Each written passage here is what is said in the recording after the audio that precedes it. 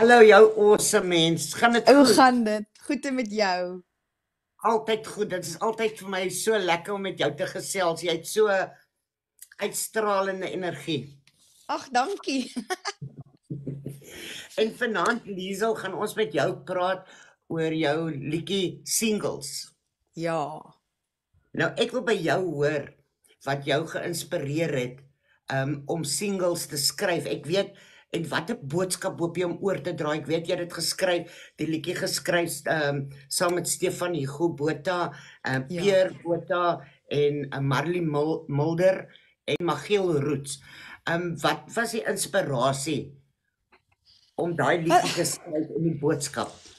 Ek dink ons het net almal bymekaar gekom om om 'n besluit te neem dat ons 'n lekker liedjie wil skryf. Um ek weet ek is ek is iemand wat hou van van dans. Ek is iemand van hou van musiek luister. So ek dink die inspirasie was net om 'n lekker feel good liedjie te skryf en dit uit te bring en dit daar buite te sit. En natuurlik het ons gedink, jy weet, ek het dis ek dink dit is 'n gesegde nie.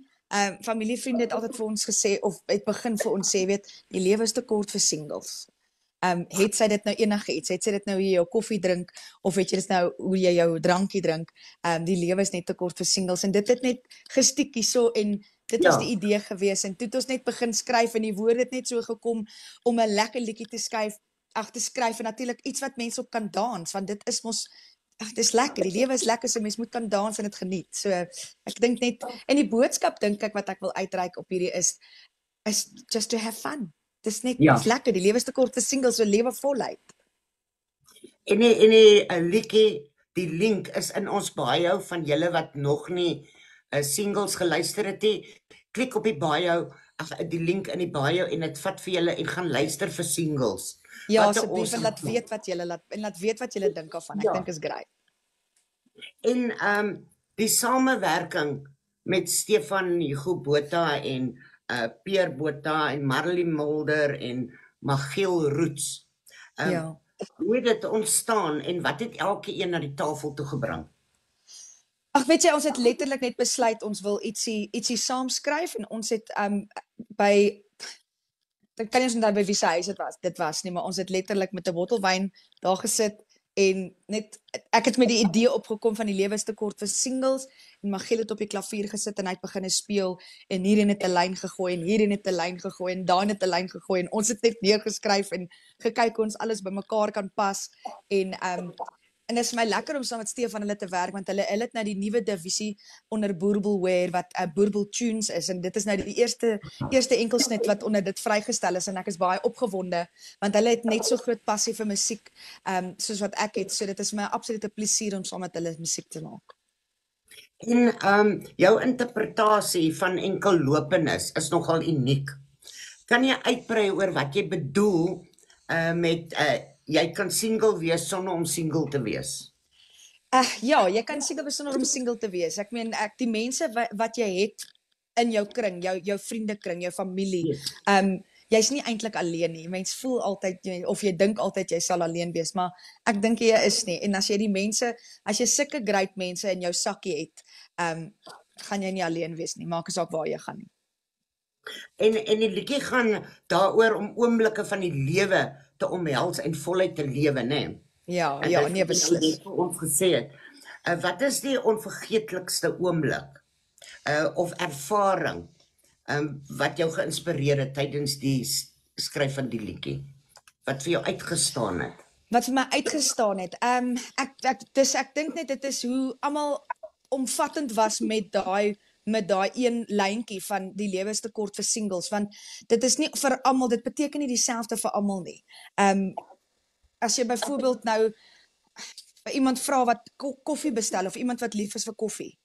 Ehm um, hoe Ja. drink jy jou espresso? Is dit 'n single espresso of 'n dubbel espresso? Ehm um, vir iemand vra hoe like jy jou brandewyn vir instance, is dit 'n single of 'n dubbel? Verstaan? Ehm, yes. En vir enige iets is dit so ek dink dit wat uitstaan is hoe almal hulle eie interpretasie het van die gesegde, as 'n mens dit nou 'n gesegde kan noem. Um en wat dit so lekker gemaak het is dat almal het hulle eie deeltjie ook gebring en en, en saam met dit toe nou hierdie wonderlike sang um ontskep en en ek dink dit is vir almal almal kan ietsie daarvan af wegvat. So dit was wat lekker is. En en die ding is, um, jy is so geliefd onder die mense. Ek weet nie, ek glo nie jy besef regtig hoe geliefd jy is hoor. Ag, dankie. Ek waardeer dit. Die terugvoering wat ons kry altyd as ons met jou interview, ehm um, het kan ek vir jou sê is asemrowend. Ag, wow, baie dankie. Ag, dit is so nice om te hoor. Dankie. En hoe het die samewerking met die vervaardigers, ehm um, Hugo Ludik en Nick Jordan en Muse Studios, ehm um, die finale produksie gevorm? Yes, ek moet sê dit was nogal 'n groot 'n baie baie lekker ervaring. Dis die eerste keer wat ek saam met hulle gewerk het. Um, ek ken hulle obviously omdat hulle ook in die musiekbedryf is met Adam en so. Ehm um, maar om hulle eintlik agter die hoe kan ek die stuur van die van die ehm um, bord in daai recording studio en dit was eintlik asemrowend soos jy sê. Ehm um, wat vir my uitgestaan het van dit is hoe talentvol daai mense eintlik is. Ja, hulle staan op 'n verhoog en hulle sing great, maar om 'n vervaardiger te wees, dink ek nie sit in enige persoon se broek nie. So ek haal ja, my ja. hoed vir hulle af en elke ideetjie wat ons daarso gehad het om te deel mee, het hy ingeneem en hy het dit probeer en hy het gesê en hy was oop en eerlik. Hy sê hoor ek dink nie hierdie gaan werk nie of hierdie is 'n great idee of draai dalk daai twee woorde om of wat. So sy ervaring in die studio was net amazing geweest en ek dink dit was so lekker om saam met hulle te werk. En die opnameproses het julle baie van gehad? Ons het eintlik, ons het baie van gehad. Ons het um, ons was so 2 of 3 keer in die studio gewees en dan kom Stefan saam met my en natuurlik Stefan is natuurlik 'n 'n fun fees om by om in sy geselskap te wees. So dan staan ek nou daar in die studio in die booth en dan sal ek begin sing en dan sal Stefan net sê o ek voel net iets in my water hierdie sang gaan werk en dan giggel jy nou eers en dan nee dit was oh, dit was net 'n lekker ervaring geweest. En uh, jy is bekend vir jou kragtige stem en jou verhoog verteenwoordigheid. Uh hoe beplan jy um om singles regstreeks op te voer? Sjoe. Um Ek het dit nou nog nie live gesing nie, so dit is nogal um, vrees aan Jaan dink ek want ek weet ek moet binnekort dit doen. Ehm um, maar ek dink dis maar net ek gaan maar die storie vertel. Ek gaan die storie vertel van hoe ons bymekaar gekom het en hoe ons gedink het dat hierdie 'n 'n wonderlike gesegde is. Ek dink hulle moet dit maar in die gesegdeboek skryf as daar so iets is. Ehm um, want ek dink is great om te weet dat die lewe te kort vir singles en maar wegvat wat jy wil en ek dink dit is so lekker liedjie. Ehm um, ek dink as ek eers hom begin sing, gaan ek definitief die mense se samewerking kry om die dansvloer vol te hou met daai sang. Wel, as ek kyk na die die comments dan sê hulle ehm um, jy's 'n awesome mens. Hulle love jou en hulle love jou in Klerksdorp. O, ek het gesien ja, hallo julle almal van Klerksdorp. Hi hi. ja, so dit is altyd goed as 'n mens sulke goeie en positiewe terugvoering uh, nee, dit kry. Is beslis. Dit is beslis en ek's baie dankbaar daarvoor. Liesel, ons gaan gou 'n bietjie op jou 'n bietjie teruggaan op jou loopbaan. As jy terugkyk op jou loopbaan, watter nalatenskap hoop jy om in die musiek te bedryf na te laat? En hoe voel jy um as kunstenaar hoe voel jy om as kunstenaar onthou te word? Jo, dit is 'n groot vraag. Um Ek weet nie, ek dink maar ek dink maar die plat op die aarde nederige liefde liefdevolle passievolle musiekliefhebber. Ehm um, dit is tog 'n passie van my en as ek op 'n verhoog staan is dit al wat ek wil doen is net my passie uitleef en vir die mense wys hoe lief ek dit het om om te sing en ehm um, wat dit vir my so lekker maak om op 'n verhoog te staan is hoe die mense elke woord saam met my sing. Ehm yes. um, dit is 'n gevoel wat ek dink alle kunstenaars nie vir almal kan beskryf nie. En ehm um, wat ek graag as 'n nalatenskap wil hê is Ehm um, ja, die die feit van die liefde van musiek en wat hoe musiek mense bymekaar bring en yes. liefde uitstroom en ehm um, ja, dit gaan vir my vir my oor passie en liefde. Ehm um, ek ek dink nou net weer terug aan aan soos by krone. Daai energie wat tussen daai gehoor is. Dit is iets wat jy nie aan iemand kan beskryf nie. Nee, jy kan absoluut nie en ek dink daai krone gehoor van spesifiek nou laas jaar by Loftus. Yes. Jy besef nie die grootheid van daai gehoor wat daar voor jou sit nee. nie. En as nee. daai mense so begin saam sing, jy word eintlik stom geslaan. Jy weet nie wat volgende nie. Wat is jou vol ek weet nie hoe daai dansers hulle passies onthou nie want ek weet vir 'n feit ek het 'n paar woorde vergeet. maar uh, uh, ja, ons wat nou tussen die mense beweeg het en ook wat backstage was, Um ek moet vir jou sê daai daai atmosfeer was elektries. Nee, absoluut. En dit is wat is een van my gunsteling shows. En ek wens ek kan dit vir iemand beskryf. Jy weet, um jy kan dit nie eintlik in woorde beskryf nie. Nee, mens kan nie, mens kan nie. Mens sal maar net moet ehm um, daai bite bullet en koop 'n kaartjie en kom kyk. Yes. Nou jy het al so baie treffers in jou loopbaan gehad. Wat sal jy sê watter liedjie het 'n baie spesiale plek in jou hart en hoekom? Yes, ek gaan moet sê asemloos. Dit was my heel heel eerste enkelsnit en ek het vandag eers besef dit is amper 9 jaar terug. As dit nie al 9 jaar terug is wat hy vrygestel is nie. En daai liedjie is nog al die jare na my hart. En ek dink is omdat dit jou eerste dis soos jou eerste kind. Ek meen nie dat ja. mense nou met kante kies met jou kinders, maar as jy eerste kind wat jy het en dis die eerste babatjie wat jy grootmaak en dis die eerste liedjie wat jy vrygestel het as 'n as 'n as 'n kunstenaar en tot vandag toe nog wil die mense dit hoor. So ja, ja. ek moes iets reg gedoen het dat dit tot vandag toe 9 jaar later wat die mense daarvoor vra. So ek is dis dis hy, dit sal definitief hy wees. Maar asemloos is 'n mooi liedjie. Dit is 'n mooi liedjie.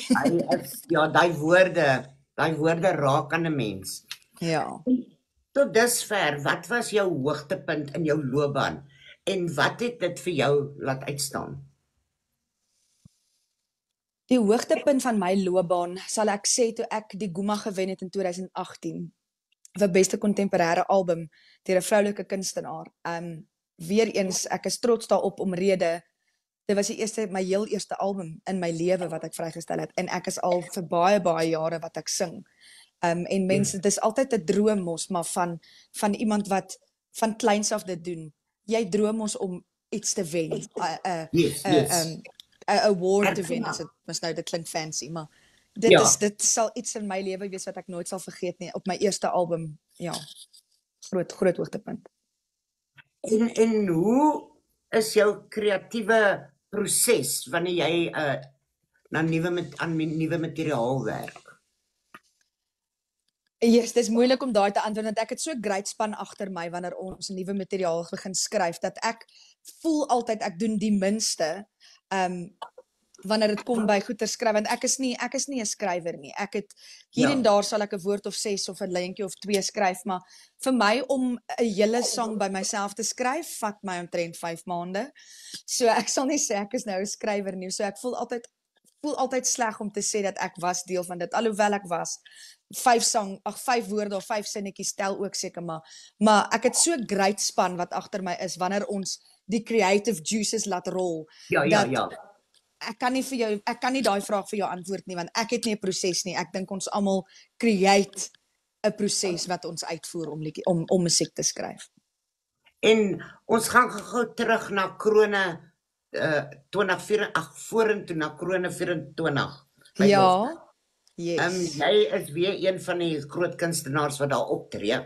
En natuurlik gaan ek weer vir jou daar sien Ek gaan vir jou backstage ook sien. Ek kom al 'n paar dae voor die tyd op. Ja. Sodat ek vir julle lekker kan met julle kan gesels wanneer julle nog nie so opgeoefen is nie. Ag Shame, ja, ek onthou laas jaar was jy daar nie. Ek het heeltyd so eenkant toe gestaan en ons was so met make-up besig. Ek het julle so gekoekeloer met my een oog. Soos wat ons make-up gedoen het. So dit sal great wees as julle met ons kan gesels en ek sien vreeslik uit die 31ste Augustus by Loftus. Ja, ek kan ek sien vreeslik uit. En en waarna sien jy die meeste uit om op te tree by Loftus? Ek kan nie vir jou sê nie want ons het nog nie heeltemal al die hele setlist gekry nie. So ek weet nie ek kan nie vir jou sê of daar wat of ek mag nie. Ek weet nie of ek mag nie. O ja, dis ook 'n ander ding. okay, kom ons wees eerlik. Ek die Krone show, die hele Krone show is fantasties. So ek sien uit om die Krone show te doen. Punt. Ja en en en kyk 'n mens kan nou nie al verbykom nie dit is 'n awesome span wat daar werk. Nee, dit is absoluut absoluut 'n awesome span. Ehm um, ja, is net 'n ander dis net 'n ander klas en die feit dat die die gehoor so deel is van die vertoning self. Ons is deel van die gehoor en die gehoor is deel van ons in ons hmm. kunstenaars. So dit is 'n dis regtig 'n wonderlike show. En vir my is dit die grootste grootste fees. Nee, dit is absoluut. Absoluut, absoluut. Ek moet sê ewen die mense as ons so oefen, ons het 'n hele week wat ons voorberei vir alles en op en af in die danspassies en jy moet nou hier staan en jy moet nou daar staan. Dit is 'n absolute fees. Jy lag so, uh, jy vergeet soms waartoe jy moet gaan, maar dit is in so great spirit dat almal het net 'n ja. lekker tyd. En hoe berei jy jouself vir so 'n hoë energie vertoning voor? Jy slaap baie? Dit nee, um, slaap kry.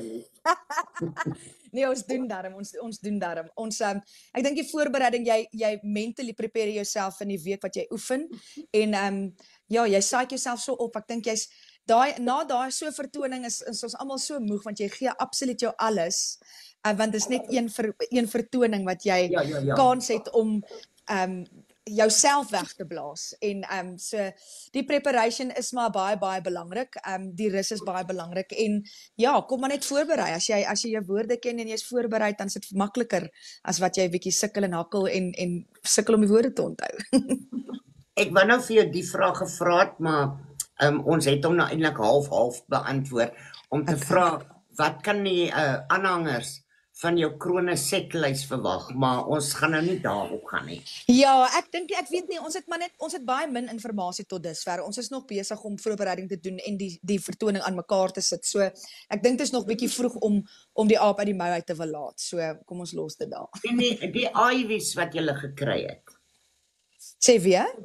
Die IV's die inspuitings wat jy O ja, die IV drips ja. Kyk, yes. daai is wonderlik. Ek meen daai help verskriklik baie. Mens moet dit maar doen. Ek meen as jy as jy 'n bietjie van 'n anxiety het, um, is dit baie goed om te kry want dit relax net jou lyf en nee, ons is dankbaar daarvoor. Ek meen al daai sponsors wat ons kry is is regtig nodig. So ons is dankbaar.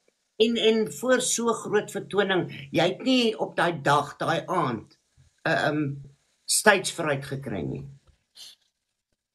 kry nog altyd. Ek het ek sal net sê stage ek, maar ek kry nog altyd butterflies. Ek het ek het myself beloof die dag wanneer ek nie my butterflies kry nie, hang ek my mic op en dan doen ek dit vir die verkeerde redes. So ek kry nog altyd butterflies en mis bit, bitter nervous. Ek raak doodstil. Ek praat nie veel nie. En obviously as jy besig om jou jou woorde en goeie te gaan in jou kop, maar nee.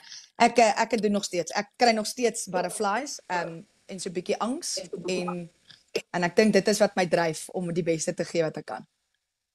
En ek sien hier is die man van die krone Hermes ook hierso. Ons wil net sê. Hallo Hermes. Hy werk so hard. Hy werk so hard. Um Malisa, ons gaan vir jou definitief sien by by krone 2024 by Loftus. Ag wonderlik. Um, om die draai dis, om die draai dit is nie meer lankie. Ek en, weet, ek het vanoggend besef ons is al in Junie. Ja. Ek loop scary. Dit is baie ja. scary. Mm. En ons het nou gepraat oor die krone en ja, soos ek gesê het, dit is ons ek dink dit is die grootste grootste fees wat daar is, Afrikaanse fees. O nee, en absoluut nie. Ek, ek is baie excited om ja, daar te kan wees en vir julle almal te sien want julle is almal awesome kunstenaars en die die die spanne wat agter julle staan dryf julle ook so hard o, en en dit is net perfek. Dankie um, baie. Die Joppie die Joppie fees. Die Joppie fees, ja. 2024. Ek spreek hom almekaar verkeerd uit en dan kry ek sulke lelike kykke hier van my kant af. uh, die Joppie fees. Uh, wat was ja. jou uh, gunsteling deel daarvan om by die by 'n buitelug fees soos die Joppie fees betrokke te wees? Dit was dit is nogals baie baie um opwindend. Um Ek sien vreeslik uit na dit. Ek dink dit is ek dink dit is een van die grootste feeste wat Pretoria nog gaan sien. Um en nie waar nie by die um monument, die taalmonument in Pretoria. So ek dink dit gaan dit gaan een vir die boeke wees beslis. Also ek sien vreeslik uit en ek ek weet Gerard Steyn is ook daar, so ek sien uit om om ons duet ook saam te doen. Um yes. daar's wonderlike kunstenaars wat daar optree en soos ek sê, ek dink dit gaan een van die grootste feeste in Pretoria wees tot van dit ek kan onthou ek dink nie daar was al 'n groter fees as dit nie. En hoe pas jy ehm uh, jou optredes by 'n buitelug uh omgewing aan? Kyk, ek het ek is baie bevoorreg om teater te gedoen het in my jonger dae. Maar ehm um, so ek het ek het ek het 'n gawe aangeleer om so min of meer die die mense te lees, die aanhangers en die mense wat daar buite is te lees. So ek kan ek kan ek is bevoorreg genoeg om te weet ek kan voor die show kan ek gou-gou my setlist verander. Ehm um, as ek sien wat die vibe is en so aan so ek lees eers die vibe lekker uit en kyk wie sing voor my en wie sing na my en dan vleg ons lekker 'n 'n wonderlike show so aan mekaar. En is daar enige nuwe of onuitgereikte liedjies uh wat ons dalk by die Jopie fees kan hoor? Jesus, julle krap beskruiklik jong. nee, ek het ongelukkig nie. Ek moet nog nuwe skryf. Ek wil bitter graag nog in hierdie jaar nog 'n nuwe ene uitbring, maar vir nou kan die mense die nuus verwag van my en en Gerard en natuurlik singles. En en wat kan die aanhangers uh, van jou opkomende musiek verwag? Ek dink ek dink wat hulle kan verwag. Ek het ek het 'n plan wat ek wil uitvoer hierdie eind tot einde van die jaar is om net lekker feel good music te doen.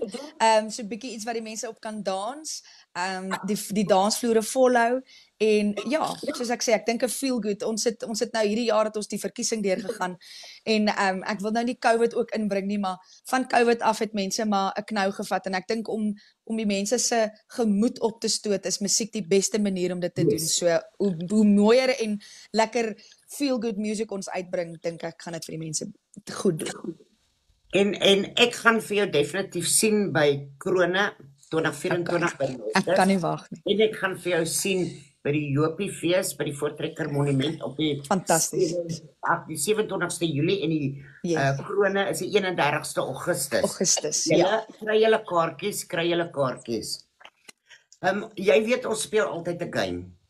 Maar ons Ja, jy het my gevang laas keer.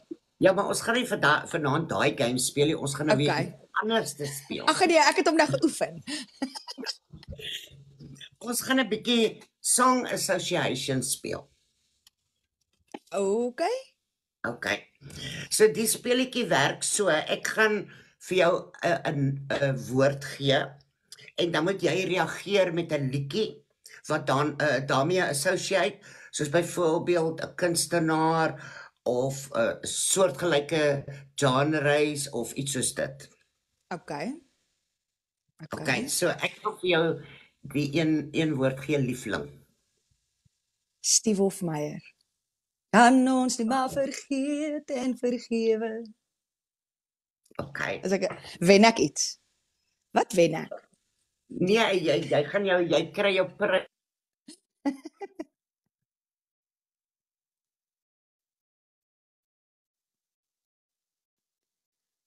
O, oh, iets haak 'n bietjie iewers.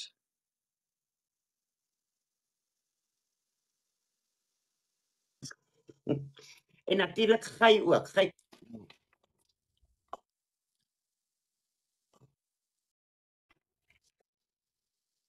Is hy terug? Daar's hy, daar's hy, daar's hy, daar's hy. Okay. Ek sê ehm um, Gey Korsten was natuurlik die pa van Liefling gewees. Dis korrek, ja, dis reg. Ja. Okay, vir Liefling vir my ehm um, vir my is dit in ons bloed. Okay. Wow. Ehm um, dit is in ons bloed van jou, veral met die liriek. Hoekom wil ek saam sing as Liefling speel? Ja, oh wow, dankie. Sjoe. Jy krap hom maar diep hoor. Dan liedjie uh, skryf uitdaging. Jy is mos 'n liedjie skrywer. Ons gaan gou-gou 'n bietjie vir jou toets. Ek ek gaan nou vir jou 'n storieetjie gee en dan moet jy vir my sê wat sou jy die titel gemaak het van hierdie as dit 'n liriek was. OK. OK.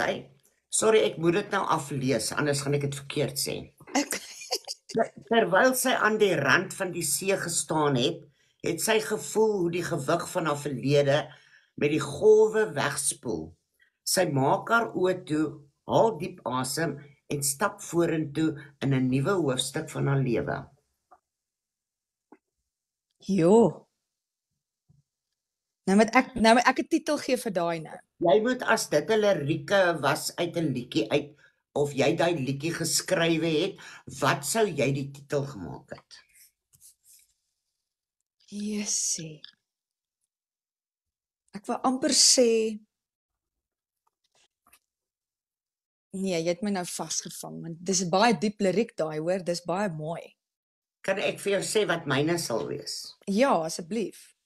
Ek sou dit of nuwe begin of vars begin genoem het. Want die die verhaal beskryf 'n oomblik van transformasie en Ja. vernuwing waar die persoon al waar die persone hulle verlede agterlaat en 'n nuwe lewensfase instap. Die tema is een van hoop, vernuwing en transformasie. Ja, want toe jy dit sê, dit dog ek eers dit kan 'n of 'n nuwe blaadjie of die nuwe ek. Dit Ja, ja, kyk, dit is baie wat deur my kop gegaan het. Nuwe ek. Ja, dit Ja. Nou, ons is amper klaar, maar ons gaan nie Okay. net sommer so laat gaan nie. On, Okay. En, gewoon neerskryf die antwoorde. Ons gaan gou-gou vir jou quick fire vrae vra. Okay. Okay, jou gunsteling liedjie om regstreeks op te voer. Asemloos. Okay. Uh, en jou go-to karaoke liedjie? Uh WhatsApp phone on blondes. O, oh, ek love hulle. gunsteling album van alle tye, jou gunsteling album? My gunsteling album, ek moet sê ek gaan my Paas en Steel Boston um More Than a Feeling. Okay. En jou grootste musikale invloed? Vir jare was dit Celine Dion en Pink. Okay. Uh mees onvergeetlikste konsert ervaring? My heel eerste krone. Okay. Jou gunsteling liedjie om in die kar te sing? Don't Stop Believing. Uh, en jou droom samewerking 'n uh, kunstenaar. Iemand hy kan lewendig of afgesterwe wees. Watter Okay. kunstenaar is droom jy om mee te kon saamwerk of nog altyd kan? Ek het vandag juis met, met iemand daaroor gepraat en ek sal ek dink flou val as ek die geleentheid kry om saam met Pink 'n toer te doen. Okay, okay, okay. En gunsteling liedjie van jou debuutalbum. Sing maar tyd. En wat is die een liedjie wat jy wens jy het geskryf? Dit is nou kan enige liedjie wees. Enige liedjie wat ek wens ek het geskryf. watter- Ja, Mm, Vier op die water van Elandrey. okay, okay. En dan wil ons net hê jy moet net sê waar kan die mense vir jou aanlyn kry? Waar kan hulle vir jou boek? Okay, de, al my details is natuurlik op my my TikTok, my Facebook en Instagram. Daarsoos gaan jy my kan volg by Liesel Pieters 777.